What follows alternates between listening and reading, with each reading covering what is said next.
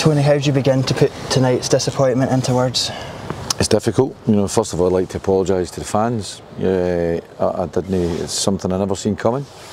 You know, I think as a newly promoted team, when you come up, you know, you expect sometimes, you know, particularly against the old firm, to face difficult challenges. But I think we just made it so easy. I think the level of goal that we conceded in that first half was just bordering on ridiculous. And uh, it's hard to explain. You know, players that have not shown that all season showed a side. that It was just so easy for Celtic to score.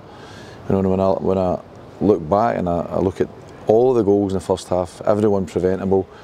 I just think we need to take huge accountability for that because it looked like we never worked in anything, but believe me, we worked in every way that Celtic attack. But if you can't defend crosses in your box, you can't decide, you can't defend in the inside of wing backs, you can't win headers in the middle of the goal. You know, you get no chance of winning a football match. So I'm a bit shocked by it. But listen, we just need to bounce back. It's as simple as that. I've just said to the players in there, what one crumb of comfort for me is that you know I'd, I'd address the boys at half time. Says make sure you, you don't lose the second half.